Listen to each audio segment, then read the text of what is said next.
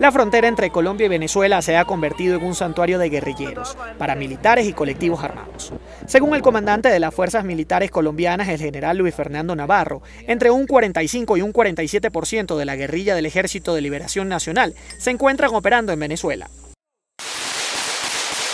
A esta realidad se suma la presencia de grupos armados que se disputan entre ellos el control de las rutas de contrabando de combustible, practican la minería ilegal y la extorsión. Recientemente perdieron la vida 12 personas en territorio venezolano por la actuación del grupo Los Rastrojitos. Al diputado venezolano Franklin Duarte le preocupa que hechos como este sucedan y las autoridades no actúen. Vemos que los cuerpos de seguridad no actúan, no actúan con fuerza como lo establece nuestra constitución y sus leyes. En la frontera venezolana y en otros estados del país están operando tres grandes grupos delincuenciales que hacen presencia y mantienen intimidada a la población. Por una parte está el Ejército de Liberación Nacional, que en la zona del Catatumbo ha tenido un gran despliegue y está llegando a estados de la República de Venezuela. Otro actor importante es el Frente Libardo Moratoro, conocido en Colombia como Los Pelusos, que también tiene una influencia importante.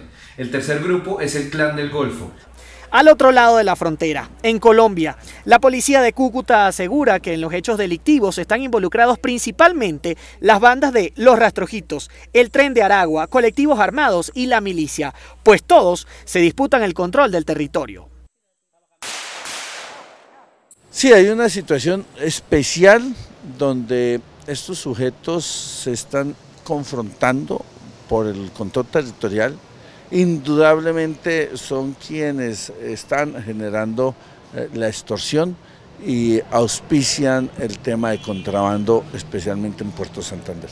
Igualmente informó que lograron la captura de dos integrantes de la banda de los Rastrojitos cuando cruzaron la frontera en búsqueda de atención médica del lado colombiano, luego de la masacre en donde perdieron la vida 12 personas en Venezuela.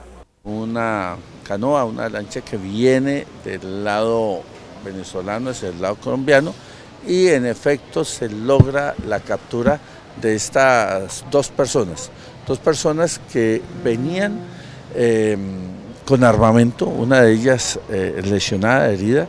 La frontera entre Colombia y Venezuela hace mucho dejó de ser solo un lugar donde se desarrollaba el contrabando.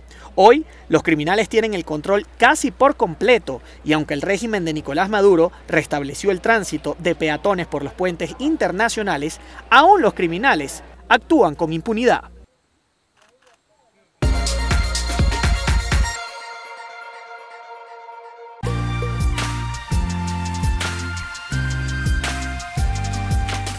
Venezuela hoy